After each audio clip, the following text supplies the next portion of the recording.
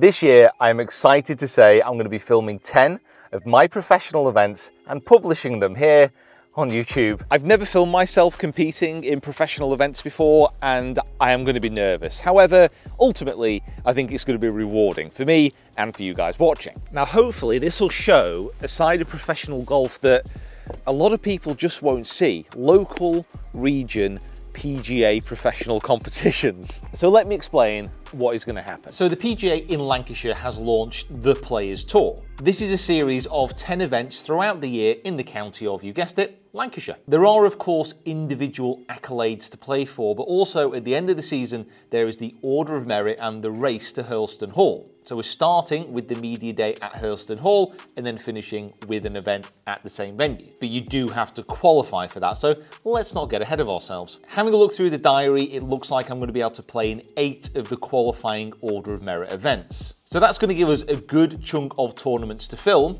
but it's also going to allow us to have a go at chasing down that order of merit. And all of this, of course, is really good training for the quest for the Open. So I've been doing Open qualifying for about six years now, and the process is very simple. So you have one round at regional qualifying, which you have to get through. You then have two rounds at final qualifying. If you get through that, you're in the Open. So technically, three rounds away. Now, I've recorded Quest for the Open videos before, but this series is going to be a lot different and hopefully a lot better. So we're at Hurlston Hall today and it's the launch of the tour. We're not playing a proper, proper comp. It's just a nine hole event. I'm actually teaming up with Andy Palmer for a Texas Scramble type of format, which we'll explain in a moment. It's going to be nice to actually play with Andy rather than him beating me every single event. There's going to be commentary, there's going to be birdies, and if you like the sound of these videos, wallop that like button and be a subscriber to this channel. So the 10th hole at Hurlston is not an ideal hole to start on. There's out of bounds left, there's a nasty bunker and a water hazard to the right, and you've got to drive it far enough to get close to a big pond in the middle of the fairway. If you manage to get it close, that gives you a shortish approach into a Mackenzie green as a starting hole. It's not easy. So we actually ended up taking my tee shot, even though I did spaff it off to the right hand side here. It finished just short of a bunker, which actually opened up a decent line into the green, although we were still 180 yards in. Andy, he hit his tee shot, he hit a driving iron, and he went a little bit off to the left hand side. So here's my approach in. I hit a five iron. Uh, it did end up coming short. It really emphasised the importance of actually having a warm up before this round because going out to those temperatures, hitting long irons and difficult tee shots straight away, it really wasn't great. It didn't affect Andy too much though. My wonderful, wonderful partner who managed to hit a five iron in. Like hit it pretty close actually, pitched about three foot away from the pin and then rolled up to the back of the green. So there's a couple putts for birdie in a scramble. You know, you get a shot each at the selected best shot from the previous shot. Glad that makes sense. So we had two chances at birdie. I gave mine a good go. He just dribbled past the left edge.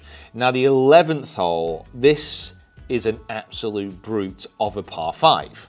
So the 11th hole is a true par five. It's about 600 yards off the back. And today we are talking about minus three wind chill conditions into wind up the hill. It's not easy. So you've got to hit your approach down into the fairway. It's just a layup and then it's a wedge onto the green. I've never birdied this hole, ever. Maybe today will be the day. Second drive of the day, this was a bit of a weak one out to the right hand side. In the studio here and in my practice, I've been managing to get my swing speeds up. These first few holes were very much down um, by the low hundreds, I imagine.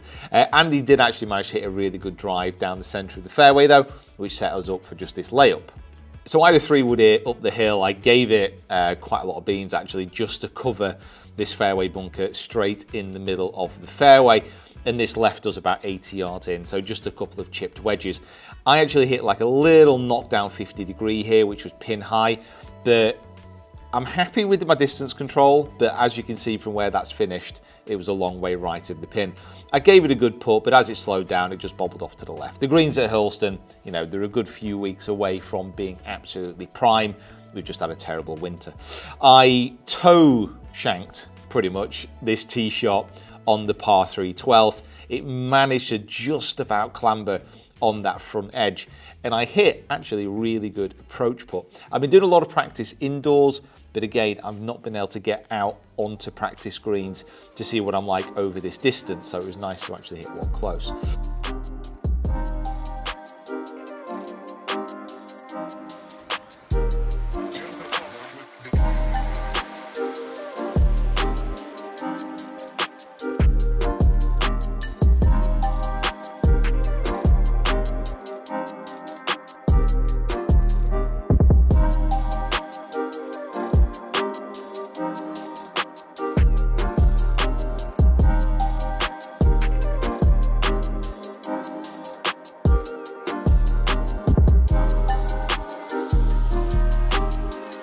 14th hole is very, very tight. This is not a hole usually which you take a driver. If it is downwind, you can get quite close, but because it was a pro scramble, we both took driver out and we both gave it a biff. We did end up taking Andy's ball. Mine spooned off into the trees while his was just off the side of the fairway. So my wedge shot here, again, this is the one we ended up using. Good distance control, but a long way right. It was like a slice with the 50 degree wedge. You can see the wind was blowing around a bit. The conditions were tough. It was really, really, really tough out there. I hit a decent putt, just not enough pace, and it trailed off. So again, another par. So up until this point, we are level par, which for a scramble isn't ideal. The 15th here is a very tough hole. Uh, there's out of bounds left, there's trees on the right hand side. It requires a nice delicate drive to be threaded through the gap in the middle and find the fairway.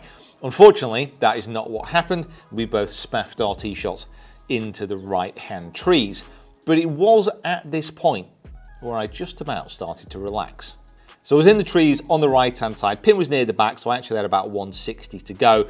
And I just hit this lovely little cut into the pin. It was definitely the best shot of the day so far, and it just relaxed me a little bit.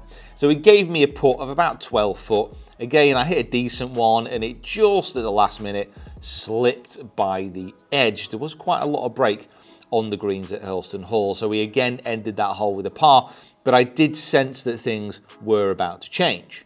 16th hole, 180 yard par 3 into wind, and I just hit this little drawy six iron and as you can see from the video here, I almost slam dunked it.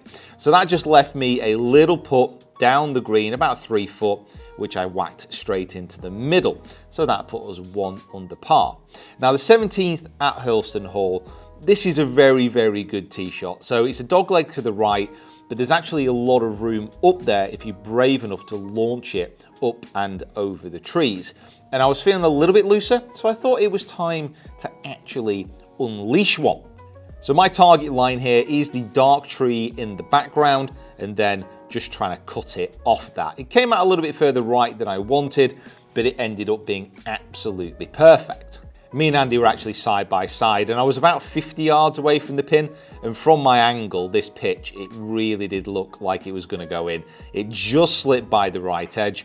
We're not gonna talk too much about this putt I had for birdie as I tried to hit it so hard, I tried to flip the green over. Fortunately, Andy, my wonderful partner, held his nerve, slotted it in for another birdie, so we were two under going down the 18th. The 18th hole here, there's out of bounds and a water hazard left, bunkers left, so if you're going to miss, you want to be off to the right-hand side.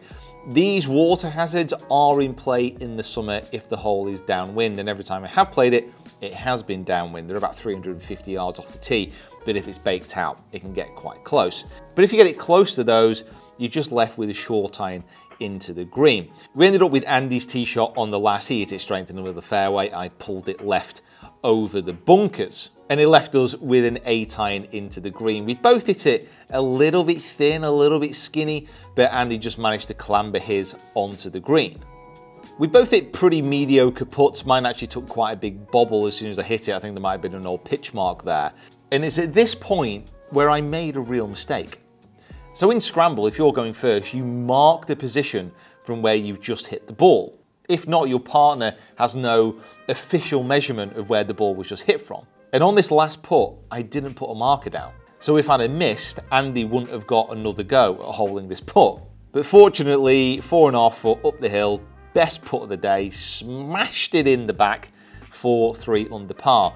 But on a tough and testing day, would that be good enough to actually win this Pro Scramble. Right, so you've just won the PGA in Lancashire, Players Tour, Media Day, Texas Scramble, nine hole championship. Big title. so we've started off the quest for the Open Series this year with a win, which doesn't actually count towards anything, in which my partner was definitely the anchor. But that doesn't make a difference. A win is a win. So I'm really excited to be bringing this series to you. Make sure that you are a subscriber to the channel and you hit that bell icon. Smash the like button if you're looking forward to more of these videos. And the first 18 hole individual comp will be dropping in a few weeks. So thank you so, so much for watching. Really excited about this Players Tour. I'll see you down here next time.